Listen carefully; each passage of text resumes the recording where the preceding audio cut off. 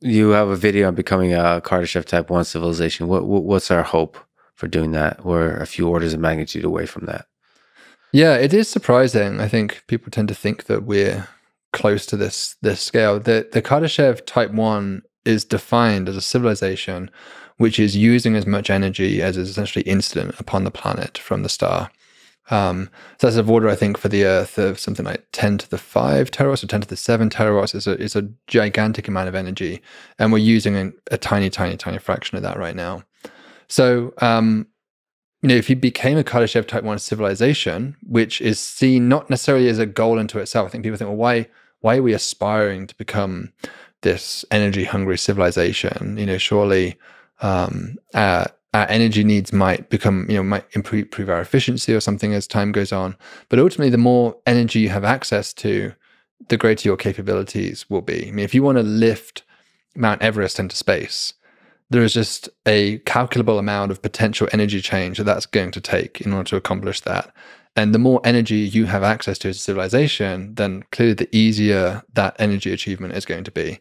So it depends on what your aspirations are as a civilization. It might not be something you want to ever do, but well, but uh, we should make clear that lifting heavy things isn't the only thing. It's uh, it's just doing work. So yeah, it could be computation. It could right, be right. it could be more and more and more and more sophisticated and larger and larger and larger computation. Which is it does seem where we're headed with the uh, v- very fast increase in um, the the scale and the quality of our computation outside the human brain yeah. artificial computation. Yeah. I mean, computation is a great example of, I mean, already I think something like 10% of US power electricity use is going towards these supercomputing centers. So there's a, yeah. there's a vast amount of our current energy needs, which are already going towards computing, will surely only increase over time. Um, if we start ever doing anything like mind uploading or creating simulated realities, that that cost will surely become almost a, a, dominant source of our energy requirements at that point. If civilization completely moves over to this kind of post-humanism stage. And so it's not unreasonable that our energy needs would continue to grow. Certainly historically, they always have at about 2% per year. And so if that continues, there is going to be a certain point um, where you're running up against the amount of energy which you can harvest because it's you're using every even if you cover the entire planet in solar panels, um, there's no more energy to be had. Um, and so this is a, you know, there's a few ways of achieving this. I sort of talked about in the video how there were several renewable energy sources that we're excited about, like geothermal, wind power, waves, but pretty much all of those don't really scratch the surface or don't really scratch the itch of getting to a Kardashev type one civilization. They're meaningful now. I would never tell anybody don't do wind power now because it's it's it's mm-hmm. clearly useful at our current stage of civilization, but it's not it's going to be a pretty negligible fraction of our energy requirements if we got to that stage of development. And so there has to be a breakthrough in either our ability to harvest solar energy, which would require maybe something like a space array of solar panels of beaming the energy back down, mm-hmm. or some developments uh, and innovations in, in nuclear fusion that would allow us to essentially reproduce the same process of what's producing the solar photons, but here on Earth.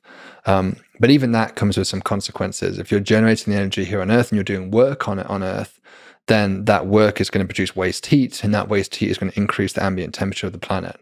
And so, you whether even if this isn't really a, a, greenhouse effect that you're increasing the temperature of the planet, this is just the amount of computers that are churning. You put your hand to a computer, you can feel the warmth coming off them.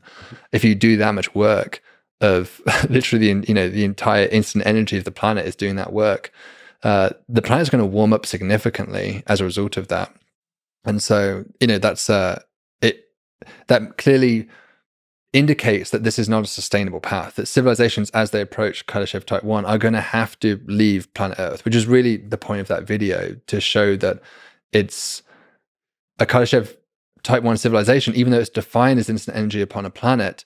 That is not a species that is going to still be living on their planet, at least um, in isolation. They will have to be harvesting energy from afar.